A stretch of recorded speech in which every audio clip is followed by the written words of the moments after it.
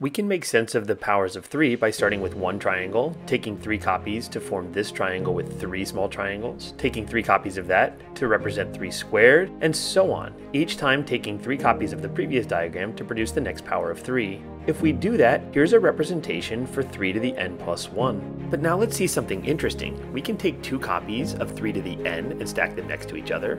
On top of that, take two copies of 3 to the n minus 1, like this, and keep going until we have two copies of 3 squared. On top of that, we place two copies of 3, and finally we place two copies of 1. If we then stack one last copy of 1 on top, it turns out that we've produced the exact same diagram as the diagram for 3 to the n plus 1, so we get equality between these two formulas. From this equality, we see that the sum where i ranges from 0 to n of 3 to the i must be 3 to the n plus 1 minus 1 over 2. This is a formula for the geometric sum of the powers of 3.